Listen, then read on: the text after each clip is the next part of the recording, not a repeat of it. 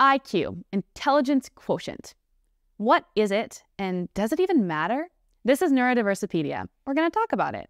Welcome to Neurodiversopedia, where we explain all those big, complicated words pertaining to neurodiversity in ways that everybody can understand.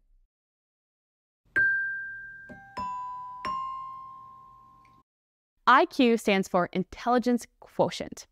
It's measuring cognitive abilities, problem solving skills, basically what people would call smartness. But it's comparing that smartness to other people your age, which at the end of the day isn't a really good, accurate metric.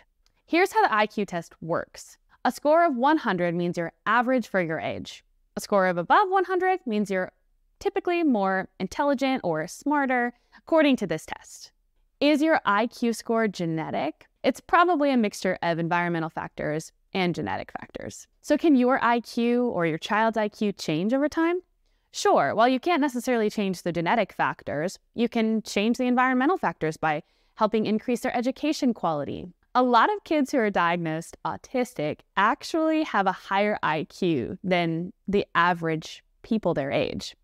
Sometimes we call these kids twice exceptional kiddos or students.